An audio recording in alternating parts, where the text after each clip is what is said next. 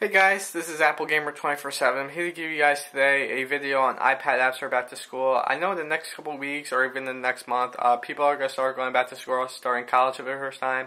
And I've been getting a lot of questions lately, um, not on YouTube, but just uh, people that know me in general want to know uh, if a tablet is good for going back to school. Is getting a tablet worth it, or should I just stick with using a laptop? And what I traditionally recommend to people is that they should stick with both.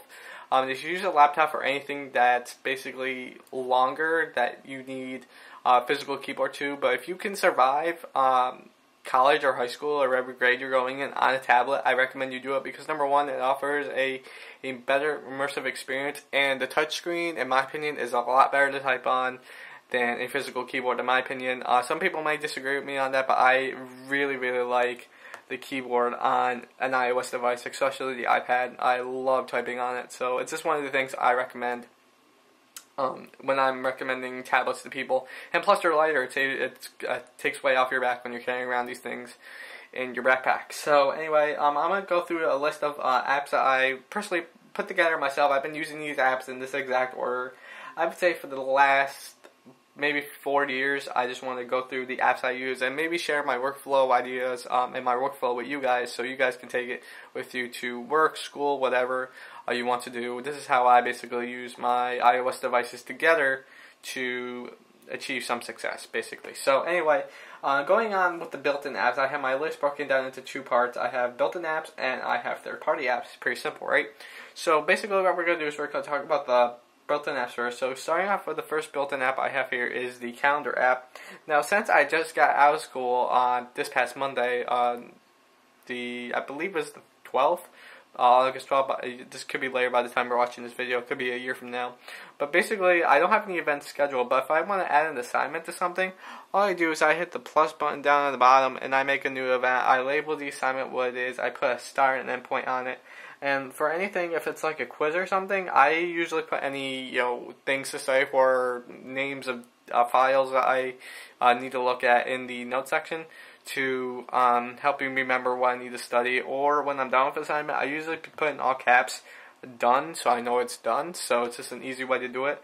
Now, I know if you're on a Mac, I'm not sure if you can do this on the iPad, but I know if you're on a Mac or you use iCloud.com, you can color code these. I'm not sure if you can do it on the iPad itself, but you can do it via iCloud.com and also uh, count the calendar app for the Mac. So that's another thing to keep in mind as well.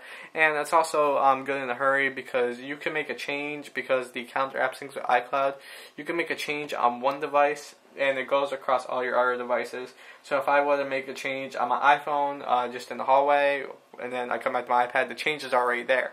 So that's one thing to keep in mind um, when picking an app. Uh, try to see if it uses iCloud because uh, trust me, you're gonna like you're gonna love iCloud um, once you start using it in a situation like this. So that is the built-in uh, calendar app.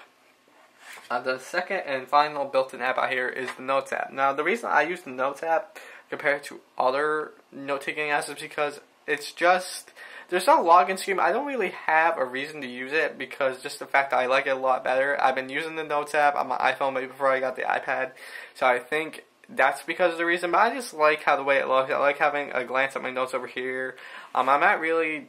I don't really care for the paper and the skeuomorphic design. I really prefer in this case, but I'm not really getting too picky in that. But I kind of like it because it's quick. If you need to write something down quick, the Notes app is right here, and there's no uh, login screen or any uh, login information. You can just um, type and not have to worry about um, logging in anything as my voice starts to die. So anyway, uh, that's basically the uh, notes app. As you can see, I have a lot of notes here for different classes.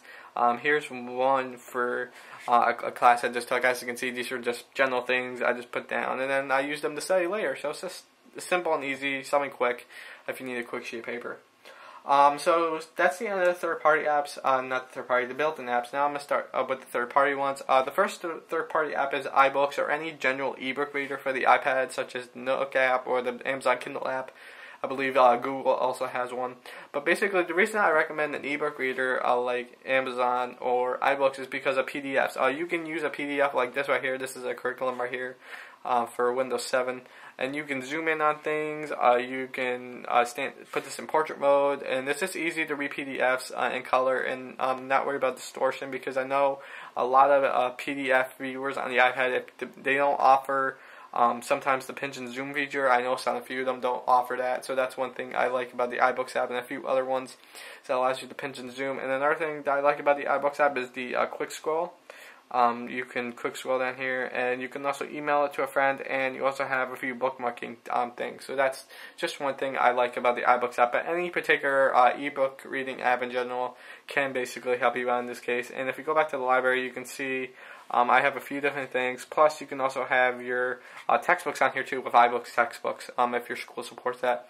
Like this Ubuntu book that I have right here that I was using uh, last year. So that's just a um, little thing to keep in mind picking ebook reader. Um, if it supports your textbooks, great, use it. If it doesn't, don't bother, just use it as a PDF viewer.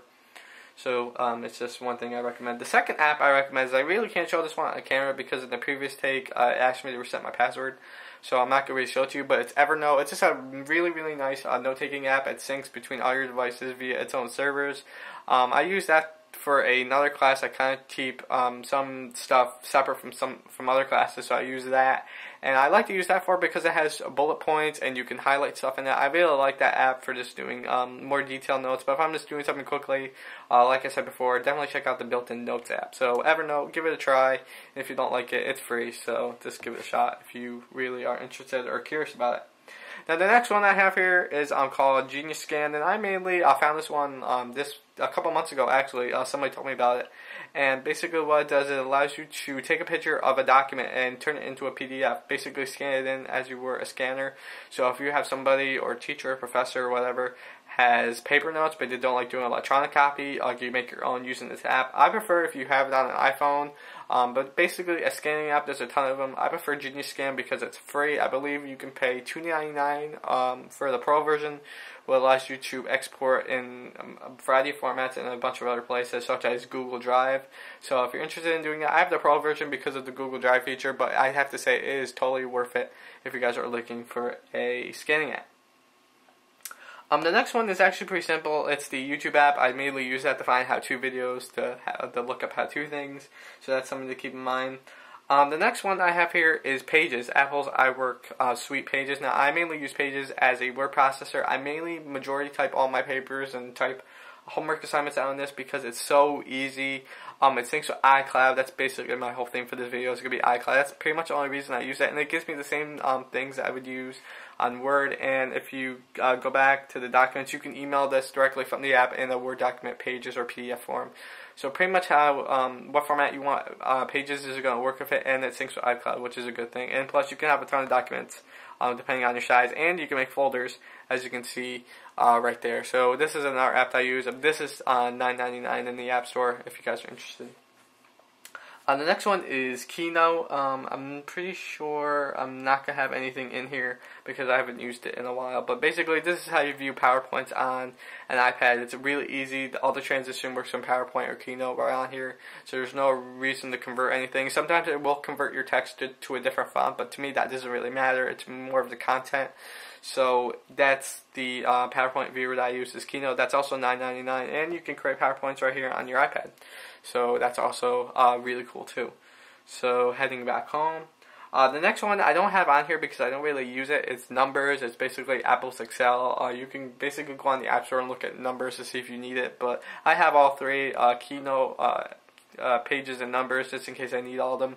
But uh, just because it's thirty bucks, um, it's worth it. The, the, whole suite is worth it. But I don't use numbers, so I don't have it on here. So definitely check that out in the App Store screenshots.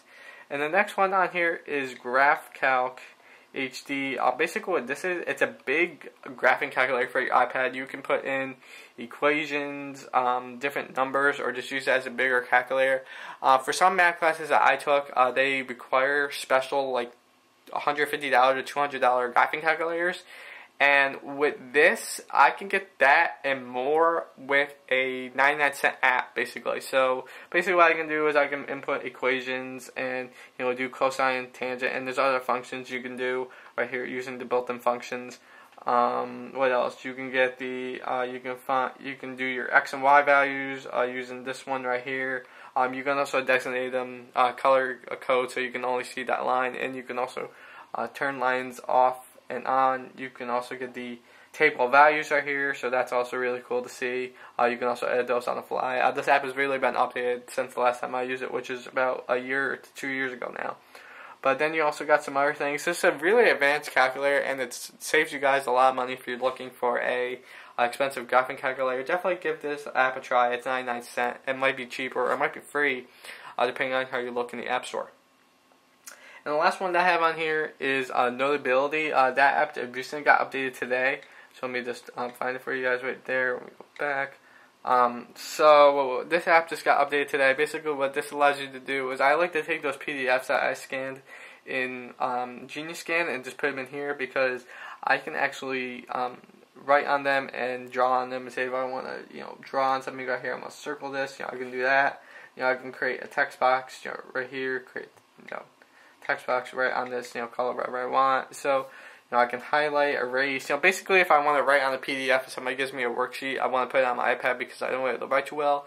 I can just scan. I can throw um, all these scans I do from Genius Scan uh, right to here, and I can write on them just like it were handed to me uh, on physical paper. So anyway guys, I know this video was long, I know this had a lot of information in it, but if you guys have any questions about any of the apps I use and how I use them, just leave them down below. Also, Android users, if you have certain Android tablet apps or Android phone apps uh, that you use in school to help you, uh, if you want to leave those down below, um, I'll have all these links to where you can get these apps in the App Store down in the description. And I will see you guys in the next video.